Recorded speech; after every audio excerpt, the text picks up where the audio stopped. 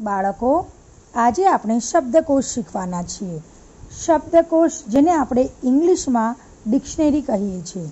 બાળકો, આ શબ્દકોશની જરૂરિયાત ક્યારે ઊભી થાય છે?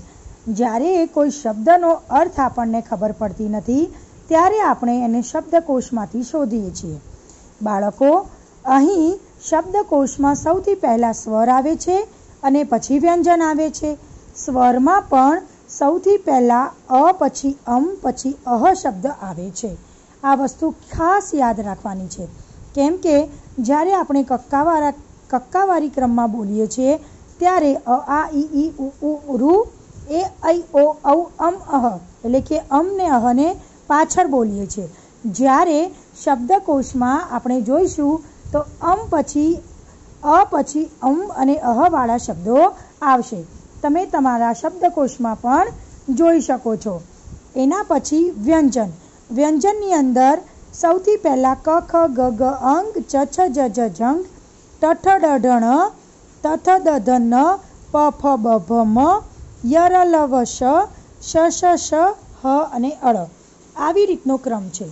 બાળકો, આમાં ક્ષત્રિયનો ક્ષ અને જ્ઞ નથી.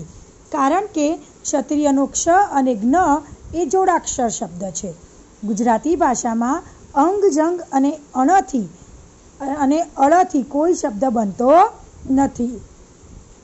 ક્ષ એ ક અને શનો જોડાક્ષર છે. એટલે ક્ષથી શરૂ થતા શબ્દો કના ક્રમમાં આવશે. બાળકો, તમે ગુજરાતી શબ્દકોશમાં જોશો તો ક્ષવાળા શબ્દો તમને ક પછી જોવા મળશે. આથી જ્યારે આપણે શબ્દકોશના ક્રમમાં લખીએ છીએ તો ક પછી ક્ષનો વારો આવશે. યાદ રાખજો બાળકો કે આપણે જ્યારે કક્કો બોલીએ છીએ, ત્યારે ક્ષ અને જ્ઞ પાછળ આવે છે. પરંતુ જ્યારે તેને શબ્દકોશના ક્રમમાં ગોઠવીએ છીએ, ત્યારે ક્ષવાળા શબ્દો કની પાછળ આવે છે.